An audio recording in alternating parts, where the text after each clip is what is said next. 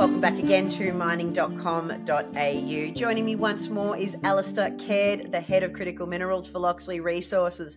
Allister, thanks for coming back on. Thanks, Shae. Good morning. Now, Locksley Resources has been investigating uh, new processing ways for antimony, uh, but I can't help but notice that there has been a couple of places where antimony is being considered being used in energy storage. Now, let's be honest, when it comes to energy storage metals, we think of metals like lithium, not antimony.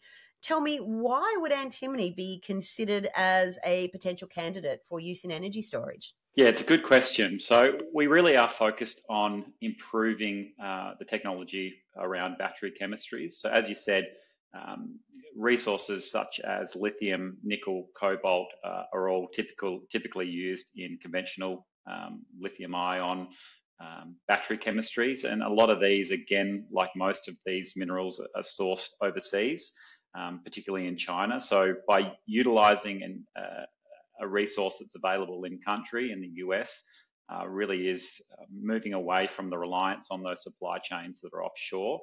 Um, and then in looking at antimony in general, really that the goal here is to try and improve the technology uh, and some of the drawbacks of um, conventional uh, lithium ion or sodium ion battery chemistry. So that's really what we're trying to achieve uh, with this thrust to, or, or, or the second work stream uh, in our RICE collaboration and partnership.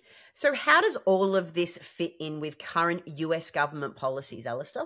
Yeah, so both of the, the work streams or thrusts with Rice University are really focused on uh, the US government policies in onshoring these critical minerals uh, and doing it in uh, as short a time as possible. So we're really hitting on the supply chains uh, with the antimony processing uh, capability.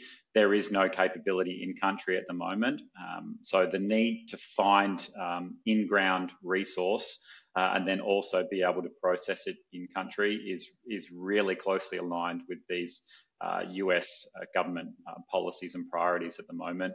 And the same can be said with uh, with Thrust 2 and the energy storage applications, because what we're really looking to do there is improve on uh, the currently available uh, and conventional lithium ion chemistries and other battery chemistries. And we're just trying to improve those. So with the, the first thrust, you're looking at producing technology that's utilized uh, by the Department of Defense. Um, and in line, and in turn, you can have uh, access to uh, government funding um, from that department. And then with the second uh, thrust or work stream with Rice University, we're really looking at technologies that could be utilised by uh, the Department of Energy. Uh, and so, in line with that, we'll be looking at funding. Uh, funding policies from that department. Um, so, so both of those thrusts are complementary to one another. The first is uh, involved with recovering the resource uh, in antimony, and the second is utilizing that resource. It's, a, it's, further downstream, but both of them are closely aligned with uh, current current US policies. Uh, this certainly is an innovative approach to a critical metal. Uh, I appreciate your time today, Allister, and I look forward to future updates. Thanks, Shae. I appreciate it.